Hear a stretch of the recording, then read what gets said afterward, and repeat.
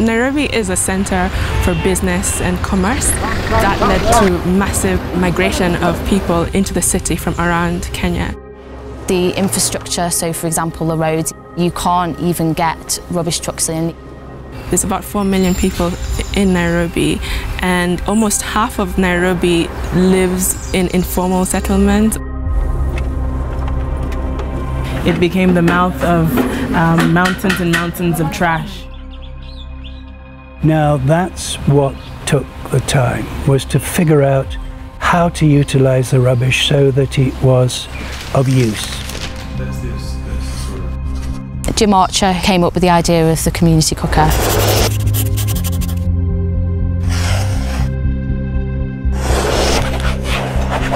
We had to build, test it, take it to bits, rebuild it, test it again, rebuild it.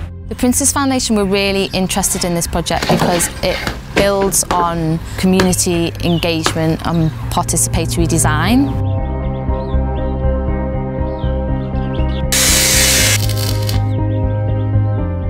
The community cooker uses rubbish as a source of fuel for generating heat to cook. The cooker is a very, very simple design. It's very easy to build, it's very easy to maintain. There's never going to be an issue with not having enough rubbish. Rubbish is collected from an area, it's fed into the cooker, which is then lit.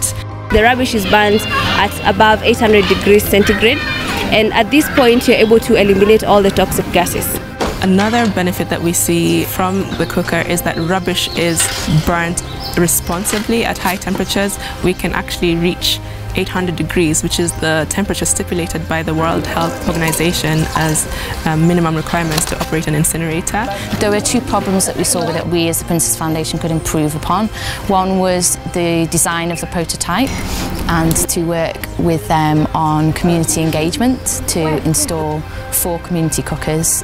A lot of the international players felt that the community cooker as a technology is fantastic because it addresses an issue where we're using rubbish to actually create fuel for cooking. Now the cooker is able to generate about 100 plates of food in an hour.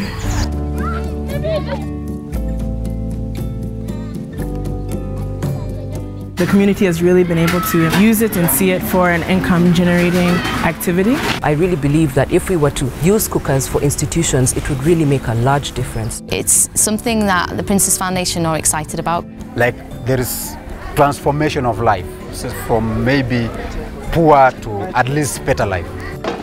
The community cooker will pay for itself in the saving of the buying of the charcoal in less than two years. I feel happy. I feel happy. In fact, something which I have done with all my heart, with all my passion, I feel happy.